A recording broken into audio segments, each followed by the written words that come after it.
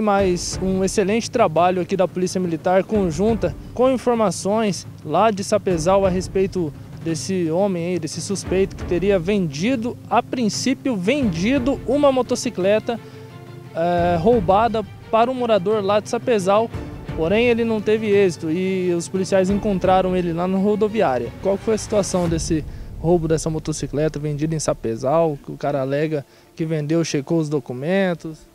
Então, a gente recebeu informação de que esse elemento aí ele teria vendido uma motocicleta em Sapezal. E então, ele vendeu a motocicleta e já pegou um ônibus e veio para Campo Novo. Porém, no momento que checaram a motocicleta, foi constatado aí que a mesma é, tem a restrição de roubo ou furto. Então, repassaram as características do elemento para a gente. Nós deslocamos aí até a rodoviária, onde logramos êxito em encontrar o elemento lá, realizamos a abordagem, é, com ele havia R$ 2.500, que seria o produto, o, o, valor que ele vendeu a motocicleta. Indagamos o mesmo sobre a questão do, do comércio, do, do, da negociação. Ele confessou que realmente entregou a motocicleta, que vendeu a motocicleta por esse valor e que não sabia que a motocicleta tinha queixa de roubo ou furto. Né?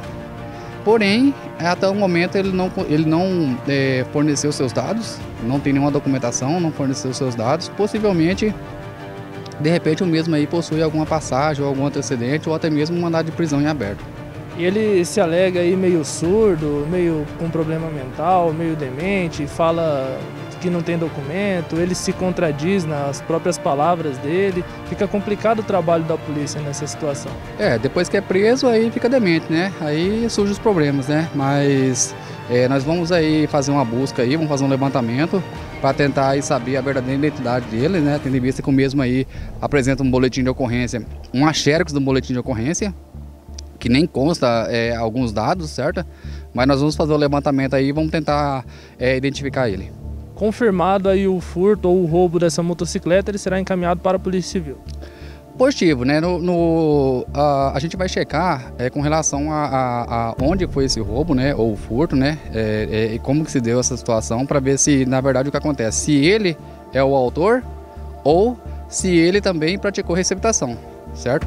Mas de qualquer forma ele já incorreu em um crime, né? Ou furto, ou roubo, ou a receptação pelo jeito que ele está, a atitude dele que aqui no batalhão da Polícia Militar, se negando a fornecer, se negando a, a se identificar com as suas documentações, já dá para entender que algo está muito errado, não é somente receptação. Então, geralmente, nessas situações que, que, que já aconteceram inúmeras vezes, é, a pessoa ela possui um mandado de prisão ou um, ou um grande histórico aí de, de, de, de ocorrência, né? De passagem pela polícia de ocorrência, então ele se nega a, a, a passar os dados, né? Justamente para a gente não ter acesso às informações dele, né? Então tudo leva a crer aí que se fosse um cidadão que não tivesse passagem nenhuma ou se não tivesse devendo para a justiça, fornecia os dados ali e tentaria explicar a situação.